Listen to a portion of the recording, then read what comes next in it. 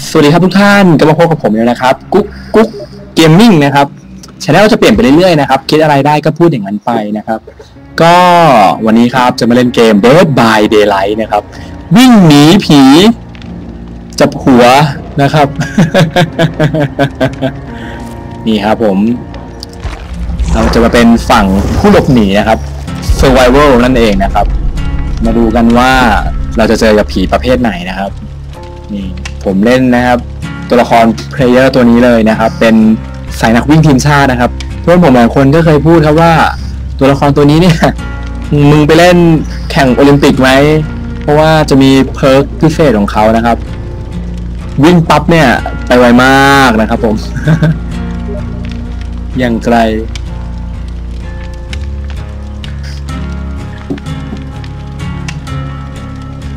นี่ก็ต้องหาห้องนะครับ ช่วงนี้ก็รอไปก่อนนะครับ ก็สักพักหนึ่งฮะคือวิดีโอเกมของเราเนี่ยจะไม่มีตัดนะครับ ไม่มีตัดต่อฮะเราจะพูดไปเรื่อยๆนะครับ หาห้องสิบนาทีก็รอไปเรื่อยๆครับคลิปก็จะยาวเป็นชั่วโมงนะครับ ก็ มีความใฝ่ฝันนะครับว่าอยากจะมี อยากจะเล่นเกมฮะ โชว์ใครสักคนบ้างนะครับผม ล่าสุดก็มีแบบ แฟนๆเรียกร้องนะครับกว่าครึ่งประเทศนะฮะส่วนมากจะเป็นเด็กประถมมัธยมนะครับ ก็บอกว่าเอ๊ะพี่ไก่พี่ไก่เล่นเกมโชว์หนูหน่อยสิหนูอยากเห็นพี่ไก่กุ๊กกุ๊กนะครับ เล่นเกม Dead by Daylight Show อยากรู้ว่าเป็นยังไงนะครับก็เดี๋ยวเรามาดูกันดีกว่านะครับ อันนี้นี่หาห้องมาสองชาติขวาแล้วนะครับ ยังหาไม่ได้เลยนันมากนะครับ ระหว่างนี้ทำอะไรรอดี ก็ก็กด ไปเซตอะไรไม่ได้เลยนะ รอครับรอ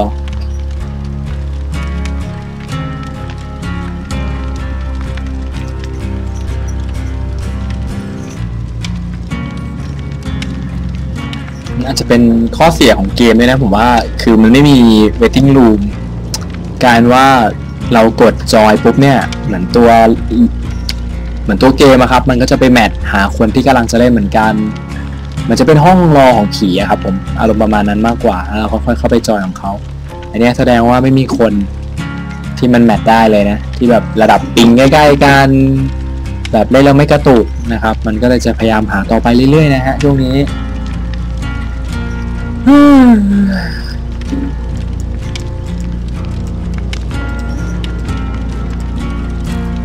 นานไปแล้วฮะกด cancel เข้าใหม่อีกทีปั๊บหาใหม่ครับ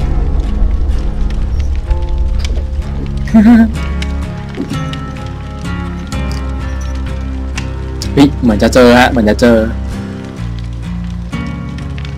เจอเจอต่อครับ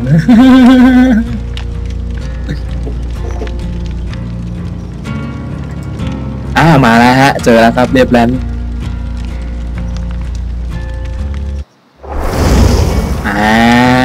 เรียบร้อยครับเรียบร้อย ใช้ item อะไรดีฮะเรามีไฟฉายเยอะมากเลยนะฮะใช้ first aid แล้วกันเผื่อเราจะไปช่วยเหลือเพื่อนที่โดนผีทุบนะครับ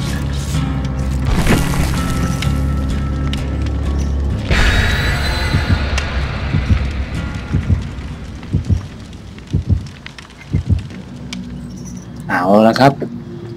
เริ่มเกมนะครับ Dead by Daylight ฮะยิงสองชายสองครับ มาดูกันดีกว่าเราจะฟุกเจอผีตัวไหนกันนะครับ คือผมเนี่ยคาดหวังเลยว่าอะไรก็ได้ฮะขออย่างเดียวอย่าเป็นผีกับดักนะฮะเพราะว่าผีกับดักเนี่ย เล่นกับมันเนี่ยวิ่งเยอะไม่ได้นะเจอที่ผมเซ็งมากมันวิ่งไม่ได้แล้วตัวผมเป็นตัวนักวิ่งไงคือวิ่งแล้วก็โดนกับดักนี่จบเลยฮะชีวิตโดนอุ้มขึ้นเขียงอย่างเดียวอะมาดูกันดีกว่าฮะ มาลุ้นกันดีกว่าจะเจออะไรกัน ผมเดานะ ผมว่าน่าจะเป็นผีละขัง เพราะว่าคนชอบเล่นกันเยอะครับ เป็นแบบผีสายสเตลนะครับ มาใกล้ๆก็ไม่มีเสียงหัวใจเต้น เต้นอีกทีก็เหมือนโดนอุ้มแล้วครับ เหมือนอัมอยู่ข้างหลังนะฮะแอะโอเคครับมือได้ใจครับ เป็นข้อได้เปรียบของพวกเราสาย survival อยู่แล้วนะครับ ผมยังไม่ได้ยินเสียงนี่ฮะ ชัดเจนแม่นจริงๆครับระฆังจริงๆด้วยได้ยินเสียงนะฮะเมื่อกี้ป้องแป้งป้องแป้งนะฮะถ้าผีระฆังแบบนี้เนี่ย จริง ๆก็ค่อนข้างน่ากลัวครับ เราต้องหาที่ปั่นที่ค่อนข้างอุ้ย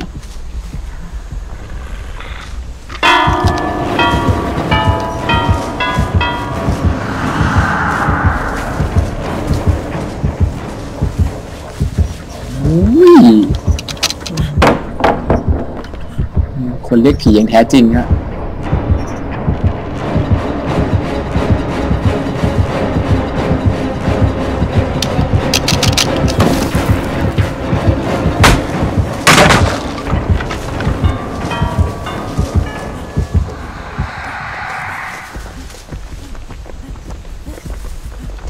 ไม่ซวยอย่างนี้วะ เจออยู่คนเดียว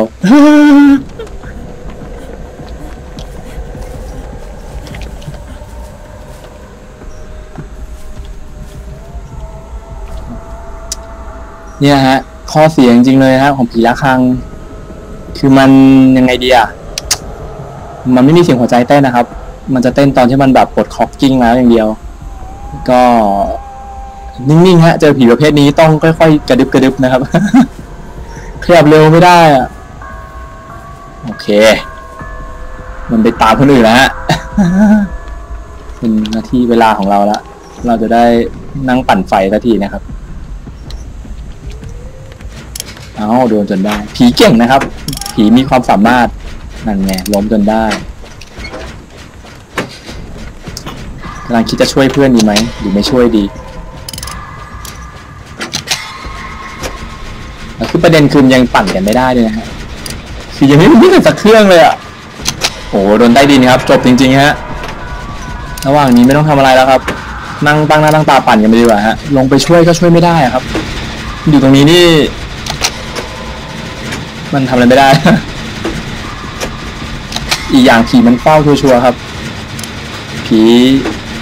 สายเฝ้าอะ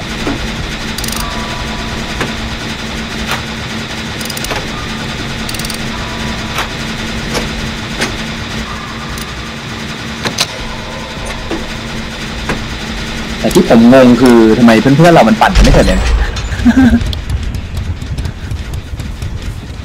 มันจะไม่ปั่นเลยเหรอ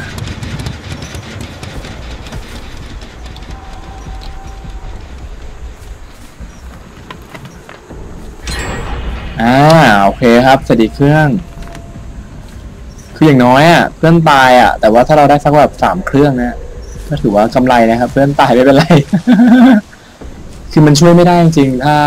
โดนแขวนข้างบนยังพอช่วยได้เนาะนี่อยู่ข้างล่างนี่ทำใจครับโมสิตจริง ๆ เอาโอ้เพื่อนมันไม่ ไม่ดึงเกมให้เลยเนี่ยผมมีความรู้สึกมากฮะว่า ว่าด้วย เครื่องปั่นผมอะมันอยู่ใกล้บ้านบ้านนั้นมากอะบ้านที่เพื่อนเพิ่งโดนคิวไปอะคืออีกไม่นานนะครับ ผีต้องมาทางผม อย่างรู้สึกได้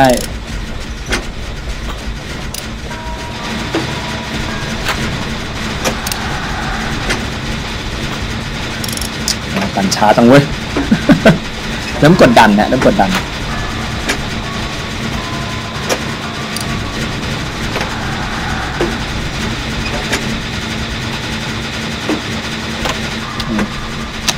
พื่อเรายังมีสเต็ปที่ดีนะครับชมยังไม่ทันขาดคำเลยฮะ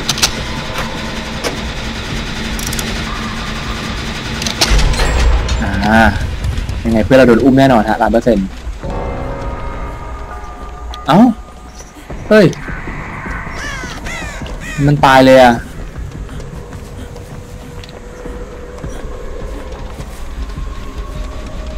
โหน่าจะเป็น ไม่น่าจะเพิร์ของเพิร์ของผีหรือเปล่านะครับ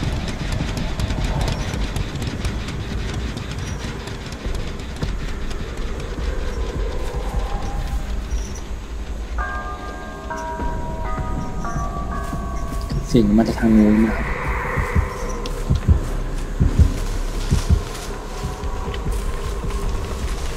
แต่มันกำลังไล่เพื่อนเราอยู่ครับ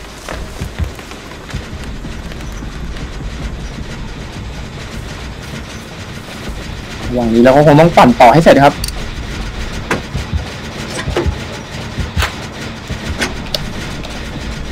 เป็นหัวใจมาแต่ไกลเลย แต่ผีมันยังไม่เข้าโหมดคอกกิ้งอะ ความหมายคือ ว่าละ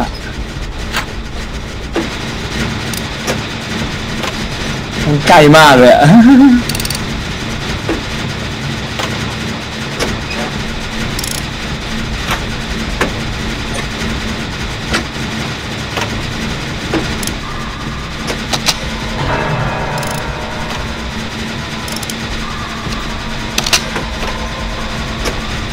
ตัวแล้ว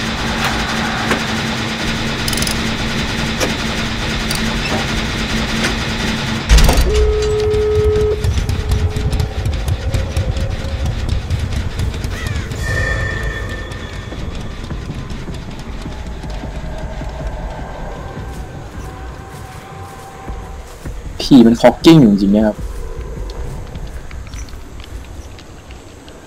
แต่คือเนี่ยต้องดึงเชงอย่างเดียวเลยฮะ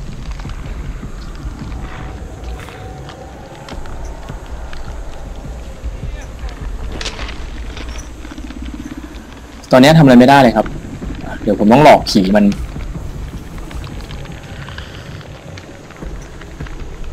ต้องหลอกให้มันพยายามคิดว่าเราอะไปกดสวิตช์แล้วนะครับ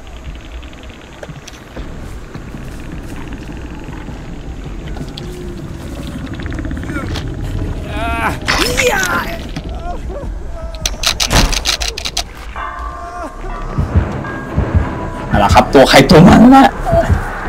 ช่วยเท่านี้แหละ ตัวเองนะเว้ย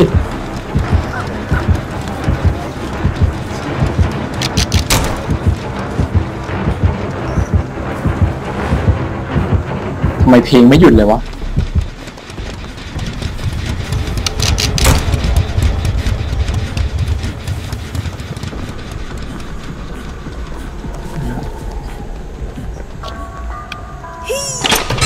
คือผมว่าผมหนีได้แล้วล่ะ แต่ว่าเพื่อนอะ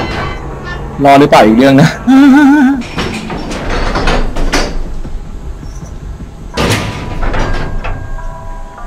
เรียบร้อยครับประตูเปิดแล้ว คือหลักการเกมมันนะครับ ก็คือว่าต้องปั่นเครื่องปั่นไฟให้ครบตามจำนวนนะครับ พอปั่นครบปุ๊บเนี่ย พอเครื่องปั่นไฟทำงานเนี่ยครับประตูตรงเนี้ยมันก็จะทำงานทำให้เราสามารถเรากดเปิดประตูเพื่อนี้เอาไปจากร้านค้าตรงนี้ได้อ๋อนี่คือหลักการของเกมมันนะครับ เผื่อท่านไหนไม่ไม่รู้ว่ามันเล่นยังไง ผมเรียนอธิบายคร่าวๆไว้ก่อนเนาะโอเคครับ ผมเออผมก็ยังเป็นห่วงเพื่อนผมนะใจอยากจะไปช่วยมันม่รู้จะรอดเองก็มันไปช่วยแล้วตายเอง แต่มันก็ถือว่าเก่งนะจังหวะที่แบบเราช่วยมันลงมาจากตะขอมันก็ยังแบบ ยังสามารถที่จะเอาตัวรอดไปได้ทั้งที่เป็นจังหวะนั้นด้วยกูยังไม่ทันขัดคำเลยนะฮะไม่รอดแล้วครับ ชีวิตเพื่อนเรา ฮู้ฮู้ฮู้ฮู้สุดท้ายรอดคนเดียวนะครับเป็นเรื่องน่าเศร้าเหลือเกินผมกะว่าจะเจอผีมันสักทีก่อนแล้วค่อยวิ่งหนีไปแล้วตอนนี้ผีมันเข้าโหมดคอกกิ้งแล้วฮะ เข้าโหมดที่แบบหายตัวละไหนดูนะฮะ จะมีผีโผล่มาไหนให้ทุกท่านดู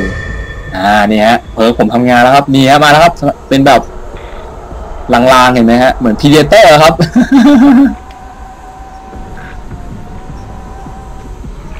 หาใหญ่เลยฮะเอ้ยมันอยู่ไหน